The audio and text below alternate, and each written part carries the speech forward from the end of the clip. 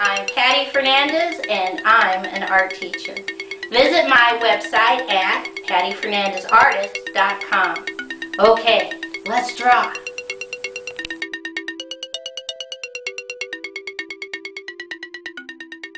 Today's project is how to draw an avocado. I come way over here on the left, put one finger and put a dot underneath. Right at the dot, we're just going to draw a little curved line. Come back to the left part and we're going to draw a big curved line down and leave it floating. Come back up to the right hand side, big curved line down and connect. Come back to the top.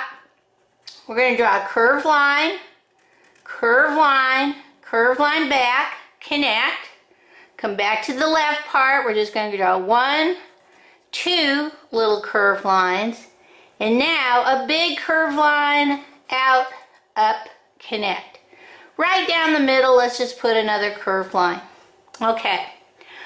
On top, little dots. Little dots. All the way down, up, and around. Okay? All right. Now come over here to the right hand side and let's put a dot. And from that dot, we're going to draw a big curved line down, around, and leave it floating. Come back to the dot. We're going to draw a big curved line down and connect. We come back to the dot and right above it, we're going to draw a curved line that mimics the other line and then come back up to the top. We're going to draw a skinny mini line that mimics the outside. Inside the parts where you can put those dots. Okay? If you can get them up all the way over put a little dot. Okay. Now right in the center let's put a dot and we're going to draw a curved line down curved line up curve line over, and connect. Okay, let's see how, oops, I forgot something. Always do. Dotted line. Dotted line for our border. And this is just to finish off the edges of our drawing. And this is a very simple, easy way to do that all the way across. And I'm sure yours will be straighter than mine. Okay, let's see how we're to color this in. Okay, avocados have gradations of color. We always work light to dark.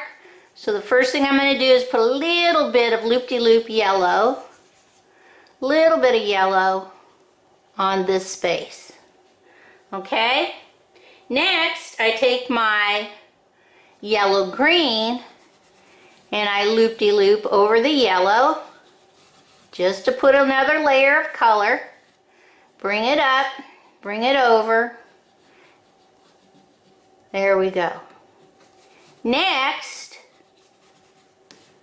I'm going to take my regular green and I'm going to loop-de-loop -loop over my yellow and my yellow green. Now, Avocados can have very, very dark skins. We're going to make ours more of the green variety. Come up and put your green up here and over here. Because now, so that we get that dark look, I'm going to take my black. Do not go crazy with the black. So up at the top, I'm just going to add some straight lines, and down here, I'm going to add some line. lines. Then I'm going to put curved lines, not too many, on everything else. The stem, the leaves, the whole shebang. Now, leave it alone. Come back over to our opened avocado, and we're going to start with yellow on the inside part, the inside space. Get your yellow green out. We're going to do the yellow green over the yellow inside space, and very lightly, let's put a little bit of the regular green. Because the inside space has the lighter color. The outside skin is darker, inside lighter color. Next, this is our seed. We're going to put yellow and then brown over our seed. Okay? Now the outside, we're going to do like we did the other one. Start with your yellow green. Bring it all the way around. Yellow green. All the way around. Regular green. Up and over. Up and over. And then your black. Now on the outside, I'm going to put a little bit darker lines on the outside skin. Okay? There we go. Last thing, take your yellow and let's just draw some yellow straight lines all the way across to break up that white paper. You can always add a straight line of color. Okay? Alright, let's see what this looks like all colored in. Okay, here is my avocado all colored in. And avocados are the California state fruit. Okay, bye-bye.